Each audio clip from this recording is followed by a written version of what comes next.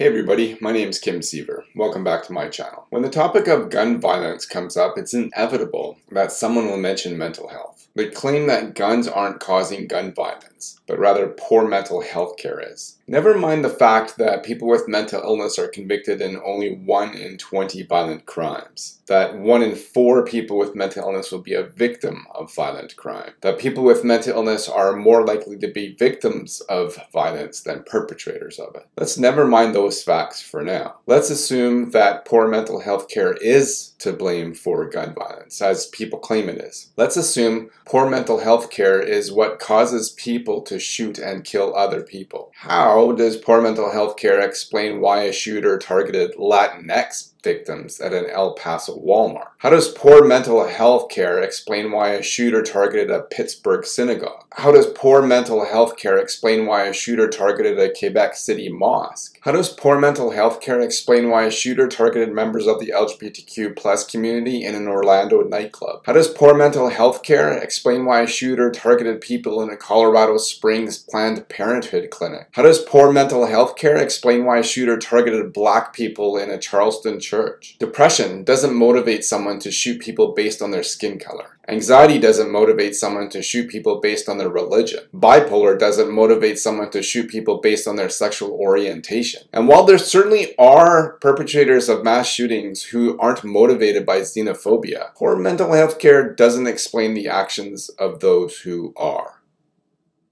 Thanks for watching. You can follow me online at siever.ca slash kim. I'm also on Facebook, Twitter, and Tumblr. If you appreciate the videos I share here on YouTube, the posts I write on my blog, and the content I share on my other social media accounts, please consider making a monthly donation either through PayPal or Patreon. If you agree with the points I raise in my video, please give me a thumbs up and let me know in the comments below why. Please share my video, subscribe to my channel, and I look forward to talking to you again soon.